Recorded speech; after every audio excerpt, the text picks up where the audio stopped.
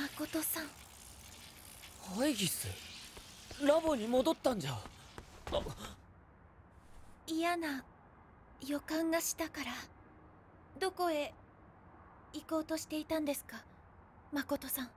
どうでもいいだろ私も一緒に行きます。一緒に行きます。アイギス。私の一番の大切はあなたのそばにいることです。でもいつか消えてくんだ。アイギスもきっと。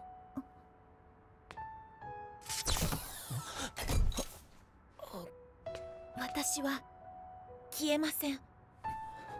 あなたを一人にはしません。私の永遠はきっとそのためにあるから